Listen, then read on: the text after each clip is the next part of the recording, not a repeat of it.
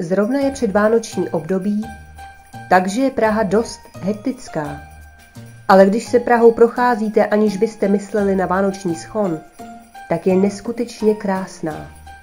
Miluju život v Praze. Vše se zdálo být v naprosté harmonii, než se mi stala ta podivná věc. Pak jsme zapluli do místního baru. Noční život je v Praze famózní.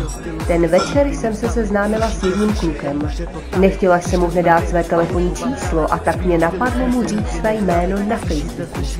Fatální chyba. Ale stalo se. Hledala jsem klíče v kabelce a uslyšela, jak se někdo směje. Rozhlédla jsem se a znervouznila. Ruce se mi začaly klepat a klíče mi vypadly z kabelky na zem.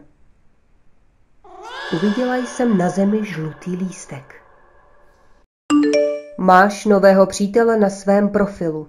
V tom další zpráva. To se mi nelíbí. Kde jsi jako byla, růžičko? Zlobíš. Blokovat mé číslo?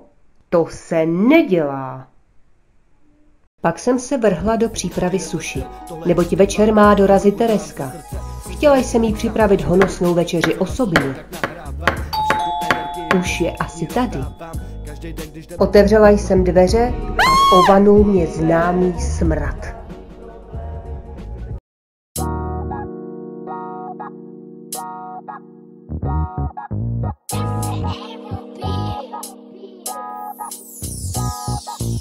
Tohle je moje crew on the black flow Když začneme zpívat a repovat, tak svítí na nás ze zora světlo My jsme ty pouliční kluci z Prahy 6 Hudbu děláme už od mala tak jako Píšu texty každý den a na 100% Jestli nevěříte, tak vám dokážeme, co je v nás.